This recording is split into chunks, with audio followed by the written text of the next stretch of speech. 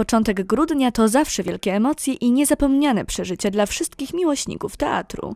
Jest to bowiem czas, gdy rozpoczyna się Barburkowa Drama Teatralna, cykl najlepszych spektaklów przygotowanych przez najsłynniejsze polskie teatry. W tym roku najlepszych aktorów publiczność mogła obejrzeć na scenie Tarnobrzeskiego Domu Kultury już po raz 39.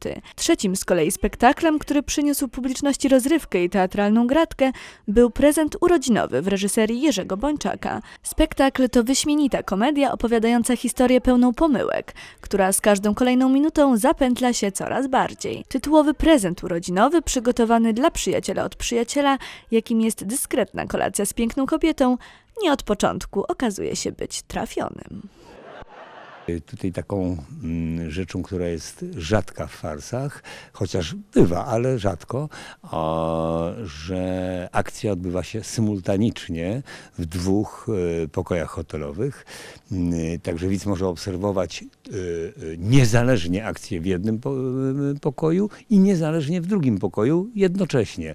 One są oczywiście bardzo precyzyjnie wyreżyserowane i tak naprawdę każdy gest aktora i każda czynność, każde działanie, każdy tekst e, jest e, w punkt oczywiście zrobiony. To nie jest nic przypadkowego, ale robi wrażenie improwizacji i na tym polega przyjemność jak gdyby grania tutaj, a jednocześnie dla publiczności jest e, tak mi się wydaje, zaskakujące to, że może się dziać równocześnie, nie przeszkadzając sobie wzajemnie, którzy mogą działać w dwóch, w dwóch, na dwóch różnych płaszczyznach. Nie tylko mistrzowska reżyseria, ale również obsada aktorska to wielki atut prezentu urodzinowego.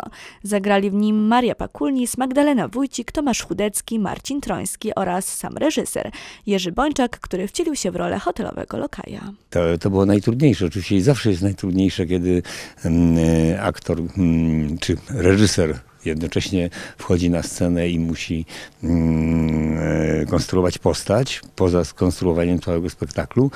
Z tym, że e, no, e, ja się przygotowuję dużo wcześniej do spektaklu. Nim zacznę próby z kolegami, to wcześniej sobie układam, jak gdyby widzę ten spektakl już w głowie i potem, e, i potem go zaczynam e, realizować na scenie, więc mm, no a potem jest weryfikacja przez publiczność.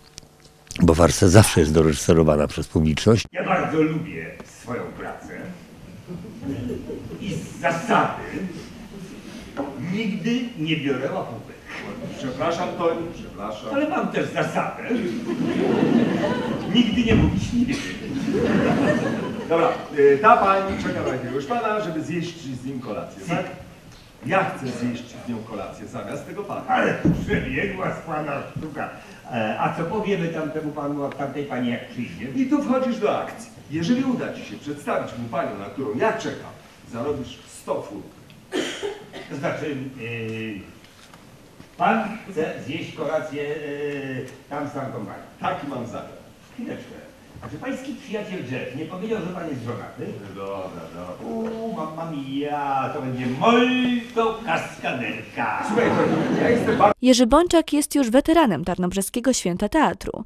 Na barburkową dramę teatralną zawsze wraca, jak sam mówi, z wielką przyjemnością. Em, Podejrzewam, że odbędzie się taka rozmowa z dyrekcją e, tutaj tego Domu Kultury, gdzie e, zawsze po e, skończonym przedstawieniu rozmawiamy, co w przyszłym roku, a niestety nie mam żadnej propozycji na przyszły rok, więc pewnie będzie pauza.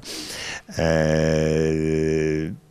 a jak e, fantastycznie się nam współpracuje, niech świadczy fakt, że ten spektakl został zaproszony równo rok temu. W momencie, kiedy graliśmy przedstawienie w zeszłym roku, wieczorem e, po spektaklu umówiliśmy się na ten spektakl, czyli e, aktorzy byli już zakontraktowani na rok wcześniej. Po dwugodzinnej teatralnej przygodzie publiczność nagrodziła aktorów owacjami na stojąco. No, przyjęcie było bardzo piękne, był standing, więc to jest bardzo takie mm, podziękowanie publiczności e, nad wyraz wdzięczne, więc to dla nas jest to ogromna przyjemność.